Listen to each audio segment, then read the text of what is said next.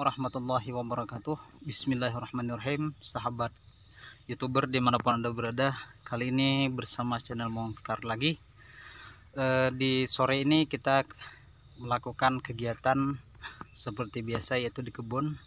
Cuman untuk di pada sore ini kita bukan membahas tentang pinang.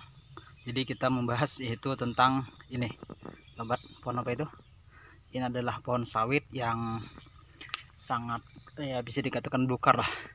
Jadi eh, di pohon di kebun ini yaitu kebun sawit yang mana pada kebun kita ini ini sangat belukar sahabat jadi bagaimana cara kita untuk melakukan pembersihan di kebun sawit ini? Ataupun untuk menetralisirkan. Nah, oke sahabat langsung saja kita berikan tip dan triknya. Oke. Selamat menyaksikan sahabat.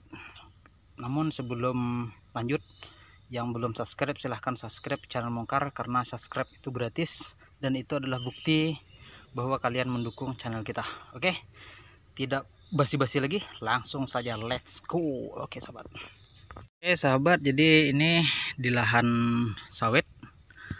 Lumayan tinggi dan sawitnya tidak begitu terurus cuman lumayan buahnya ada.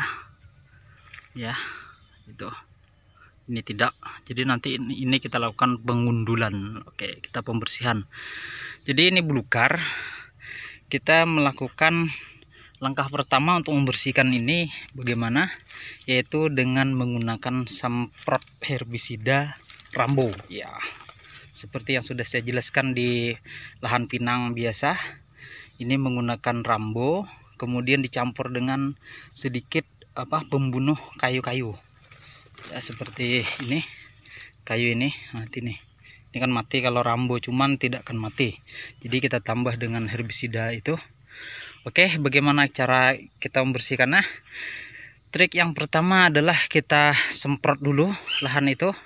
Kemudian setelah kita semprot lalu kita lakukan pembersihan yaitu dengan menggunakan penebasan. Oke langsung kita lihat. Nah ini. Ini sahabat ini sudah kita lakukan pembersihan. Nah, ini penebasan. Ini kemarin.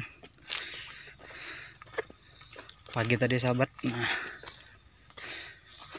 Ini kita lakukan pembersihan. Nah di sini.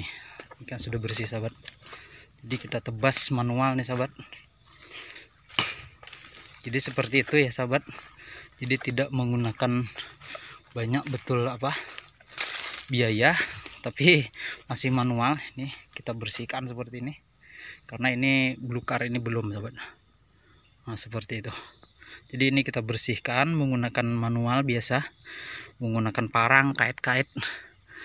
Dan buahnya di sini lumayan juga ya. Ini pinang tadi kita tebang aja. Nah ini menggunakan part ini sobat. Kait-kait dan juga parang. Oke itu. Ini nanti kita bersihkan.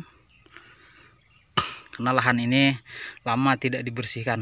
Dan akhirnya kita bersihkan dan pinangnya pun kita tumbangkan sebagian sobat. Oke kita jalan-jalan dulu. Mungkin seperti itu sobat trik-trik kita. Ini bisa dilakukan paretnya masih buntu nah ini belum bersih sahabat. Trik ini bisa kita lakukan di berbagai lahan. Baik lahan pinang kelapa kelapa ataupun sawit seperti ini. Ini belum didodos sudah masak. Jadi itu mungkin trik-trik dari kita sahabat untuk kali ini. Ini yang sudah kita bersihkan pagi tadi. Ini sudah sore karena kita mau pulang. Ini kita tebang aja pinangnya ini di tengah-tengah kemarin sudah ditanam pinang terlanjur. Nah ini ini baru nanti kita gundul sahabat. Nah ini yang belum dibersihkan sahabat.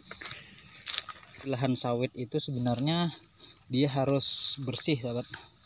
Harus bersih dan apa namanya tidak boleh apa namanya seperti ini.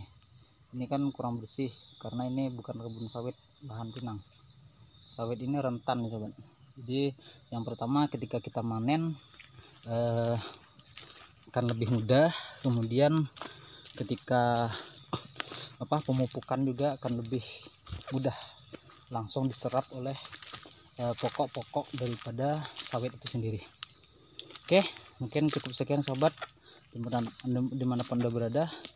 Akhirul kalam. Assalamualaikum warahmatullahi wabarakatuh.